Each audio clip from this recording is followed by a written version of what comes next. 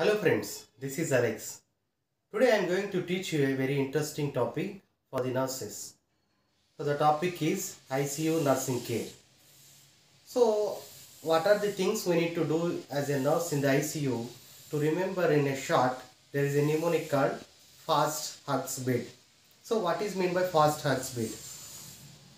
F stands for feeding, A stands for analgesia, S stands for sedation, H for head up, U for ulcerative prophylaxis, G for glycemic index, S for sedation or a supplementation, and B for bowel, uh, bowel movements, I for indwelling catheter, and D for de-escalation of drugs. So I will explain one by one, and there is a major or minor uh, changes from a medical ICU to the surgical ICUs when when we, when we are applying this fast hugs bids. So we'll see. F stands for feeding. Okay, first first and foremost uh, to the patient, what we have to focus mainly focusing on the feeding. Okay, uh, as a nurse, what you need to observe which type of diet he is taking or which type of feed he is taking or how he is taking whether he is taking by the mouth or uh, to any tubes through any tubes or by uh, is he taking feeding through the uh, IV, IV access. So that is the thing you need to observe as a nurse. Okay. Uh, in this feeding portion, whether you are working in a medical ICUs or surgical intensive care units, so you need to observe mainly three things, uh, NBM. Okay. Whether, whether the patient is on nil by mouth, okay, nil per oral, NPO or NBM or uh, enteral feeding. Enteral feeding means nothing but giving uh, feeding directly into the intestines or to the stomachs. Okay to directly into the gi tract. Okay through a any uh, tube. Through any tube. Like by ng tubes. Or we can say Ryle's tubes. Or a jejunostomy feed. Okay gastrotomy feeding. So all those coming under enteral feedings. But another type is tpn total parenteral nutrition total parenteral nutrition in this uh, we are giving feeding through the iv access either through a PICC lines or through a uh, through a central lines. Okay we are giving feeding directly into the blood. Okay these are the three types mainly we will observe. Okay uh, in feeding thing these are the two uh, things either in a medical or surgical units you have to observe. In a surgical you have to focus on nbm things before surgery suppose patient is uh, posted for surgery pre-operative care you have to uh, observe for NBM. Okay, there is a dif- uh, depends on surgery. We will keep uh, for 12 hours or 6 hours or 24 hours like that. Or after feeding, uh, after surgery also. So those things you have to observe as a nurse. And next thing, analgesia. A stands for analgesia. So analgesia mainly uh, in the, in our ICUs, all the patients will have pain. Definitely they will have pain. They will undergo for lot of pain but they won't express. Some of the patients will be in uh, means a semi-conscious state okay or some may be in a sedation okay they can't express. So daily in each shift you have to do the pain assessment through a Wong-Baker pain scale or by a VAS visual analog scale. So different pain scales are there. You have to assess their pain. Okay pain of the patient and based on that pain scoring you need to give the uh, different treatment modalities. Okay they are assessing a pain and giving analgesia. Okay that is about a. Next s is for sedation. Uh, sedation in the medical care. Okay medical issues sedation suppose if a patient is on ventilator okay definitely you have to sedate the patient. Okay uh, if he is on a VSC mode or uh, ACV mode okay uh, PCV mode uh, whatever the mode or SIMV mode also sometimes yeah, if you are if patient is uh, conscious if you, then what he will do? He will definitely uh, will be in a irritable state. He will try to pull off the tube. Okay then there is a problem. So that's why you have to keep sometimes the patient uh, on a sedation but the sedation trials has to be done daily okay daily in the morning time uh, at a 6 o'clock like that you have to stop the sedation and check for the sensorium okay if you are in the um, surgical ICUs or in, even in the medical ICUs also, you need to check the sensorium of the patient whether he is a altered sensorium or his sensorium is good or not. Means like how you will check by the uh, there is a scale called GCS, Glasgow Coma scale. Okay, by checking their motor response, verbal response, and eye movements. So there is a score again up to 15. Okay, so by uh, daily you have to check the in each shift you have to check the GCS. Okay, by, based on the GCS you will uh, define the sensorium of that patient. Okay, and sedation trials also to be done on a uh, regular shift basis. Okay, that is a S. Then T stands for thromboprophylaxis. Thromboprophylaxis is stands for so usually ICU patients will uh, mostly you will see a prolonged bedridden patients. Okay, definitely there will be a thrombo um, uh, prophylax- thromboprophylaxis uh, uh, should be given. Mostly like injection Clexanes or giving a DVT pumps or by giving uh, giving a alpha beds providing alpha beds so all these things you have to provide for preventing the blood clots okay so circulation to prevent to improve this circulation in a long standing uh, bedridden patients so uh, this thromboprophylaxis should be followed in all the ICUs if you are not following if you are not giving any contraindications you need to specify mention in the case sheet document in the case sheet if you are giving you need to write dvt pumps applying or ted stockings are applying or a clexane injections we are giving like that and if you're coming to the surgical ICUs along with the thromboprophylaxis, you need to check the temperatures also. Temperature is very very important. Maintaining the body temperature is very very important. So checking temperature every hourly or second hourly is also important and it should be documented.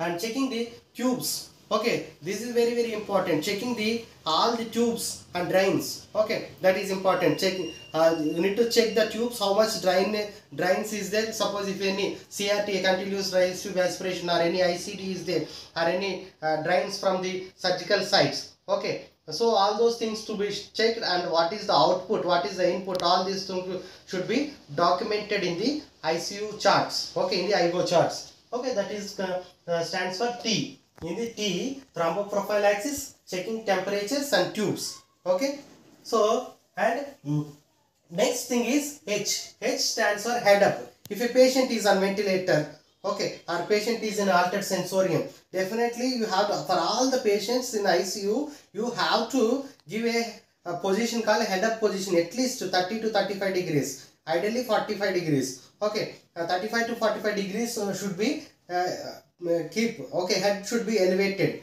Okay, that is called head up. Why? To prevent the aspiration of the uh, gastrointestinal contents. Okay, so that is the uh, reason to keep the head up. Okay, and in a surgical uh, ICUs, you need to keep uh, with along with the head up. There is a hemodynamics. You need to maintain the hemodynamic status also. You need to find out the uh, keep the hemodynamically stable. Okay, next thing is ulcer prophylaxis. U stands for ulcer prophylaxis. Ulcer prophylaxis uh, daily we will give uh, in the morning uh, like pipta, um, sorry, pantap and we will give. Okay, proton pump inhibitors. So because of the taking of lot of medications, okay, uh, like uh, um, uh, means high end antibiotics and all, definitely patient will develop a this one ulcers in the stomach. Okay, to prevent that, we will give a proton pump inhibitors like Pantap usually we will give, or if any other also we will give to prevent the ulcers. Okay, that is a ulcerative prophylaxis. And you need to check the urine output also. Urine output by keeping the urometers, hourly urine output you need to check and document it. Okay, this that is, that is for you. Okay, and uh, uh, G stands for glycemic control. Keeping the sugars in control is very very important in the ICU care. Okay, usually if the if the patient is non-diabetic also by the uh, by the treatment modalities there is a chance of uh, hyperglycemia. If you are using any steroids okay definitely there is a chance of in, increase in the sugars. If you are uh, not finding if you are not treating them then there is a chance of patient to develop some uh, going into the coma. So definitely and at least in a three shifts uh, TID basis you have to check the GRBS and note it down correct it. Okay glycemic control is very very important if the patient is uh, um, hypoglycemia also you need to correct immediately so and S stands for spontaneous breathing. Okay, breathing trials also should be done on a uh, daily basis in in the morning or each shift also. If a patient is on ventilator, definitely you need to uh, try for the weaning wean of trials. Okay, so uh, spontaneous breathings and in a ICU, SICU areas, I mean surgical ICUs, you need to encourage uh, uh, keeping patient in the name. supplement oxygenation should be given uh, by a mask or NIV or high flow oxygens. So that is a uh, stands for yes. Another thing also you can include in the S skin care. Skin care is very very important. Um, checking the uh, skin uh, for any ulcers means bed sore, bed sores. Okay, because the patient is continuously lying on the patient, prolonged bedridden patients will be there. Then there is a chance of developing the bed sores. Okay, uh, to maintain this um, skin keeping intact is very very important as a nurse. Changing the position second hourly. Okay, and giving a back care is very very important to, to prevent the ul- bed sores. Okay, so that is also you can include in the uh, S and you can include a S sleeping pattern also. Sleeping patterns also if he is a, awake.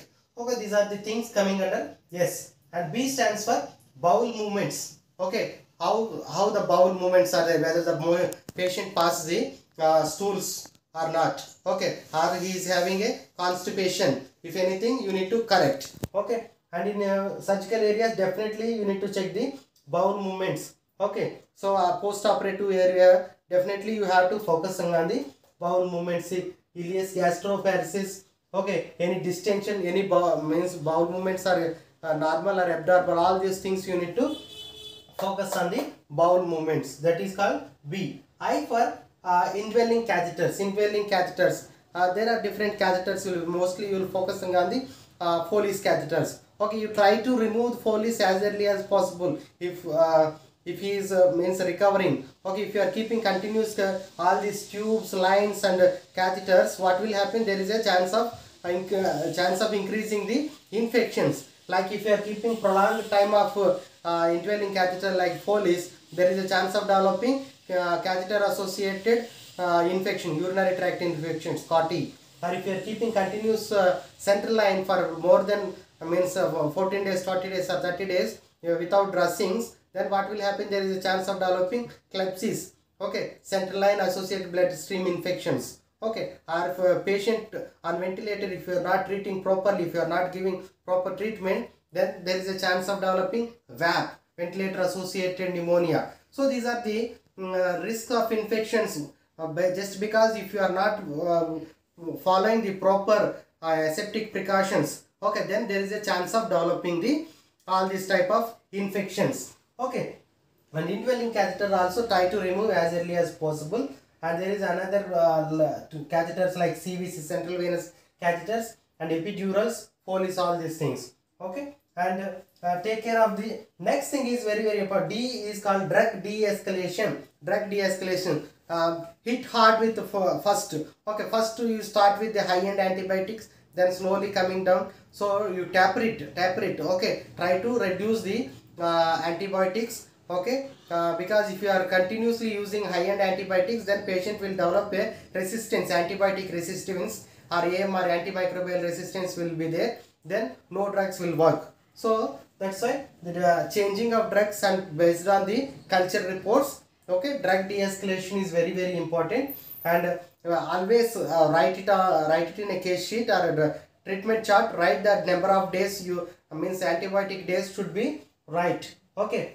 So and uh, delirium icu psychosis also will be developed. That also should be observed as a nurse. So these are the at least minimum things to be uh, observed and to be done by the ICU nurse or a doctor in a every ICU, whether it is a surgical ICU or medical ICU or CT ICU, whatever the ICU, if you fulfill at least these uh, criterias, then patient will receive. You can uh, imagine patient is receiving a hundred percent care. If you follow all these things, definitely the recovery rate will be high okay uh, this is called a mnemonic to remember the ICU care in a short that is called fast hugs bid in a I will give you a quick review F stands for feeding A analgesia and S for sedation okay and T for throm- thromboprophylaxis and H for head up U for ulcerative prophylaxis, G glycemic index, and uh, B for bowel movement, indwelling catheter, and de-escalation of drugs. Thank you guys. If you like my uh, content, please like, share, subscribe. Thank you.